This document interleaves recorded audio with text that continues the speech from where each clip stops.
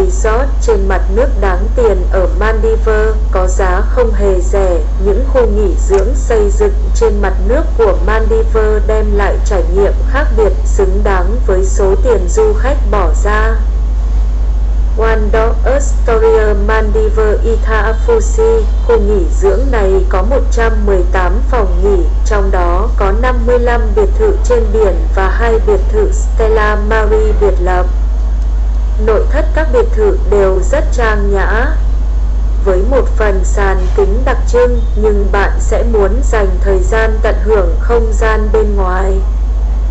Villa Private Island, 47 căn biệt thự và phòng nghỉ được thiết kế và xây dựng từ năm 2013, nhưng được bảo trì kỹ lưỡng. Từng góc từng vật dụng của biệt thự được các thợ thủ công từ châu Âu hoàn thiện đem lại không gian tinh tế, sang trọng. ST Regis Maldives Formula Resort Khu nghỉ dưỡng theo phong cách hiện đại và tối giản này gồm 44 biệt thự trên mặt nước.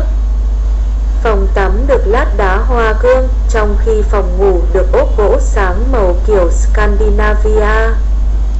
Ritz-Carlton Maldives Fairy Island, phần lớn trong số 100 biệt thự ở khu resort hạng sang này được xây dựng trên mặt nước lấy cảm hứng từ chuyển động của đại dương, mỗi căn được thiết kế theo dạng tròn. Ốp gỗ từ nguồn khai thác bền vững. Jumeirah Maldives Olahali Island, các biệt thự trên mặt nước ở đây có kích cỡ ấn tượng và được bài trí nội thất sang trọng. Với một ba phòng ngủ, mỗi căn có phần hiên trên mái để du khách tận hưởng tiệc BBQ buổi tối hay xem phim dưới trời sao.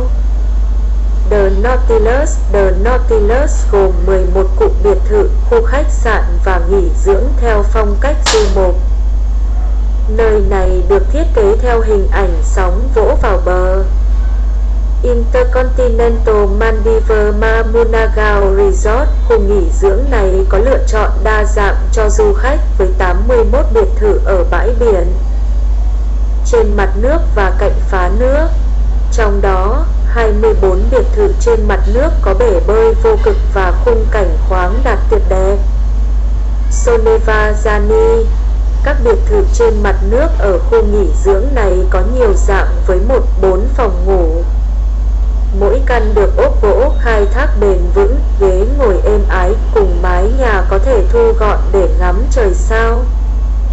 Kudadu Maldives là một trong những khu nghỉ dưỡng nhỏ nhất và bền vững nhất Maldives. Kudadu có 15 căn biệt thự trên mặt nước sử dụng hoàn toàn điện từ năng lượng mặt trời.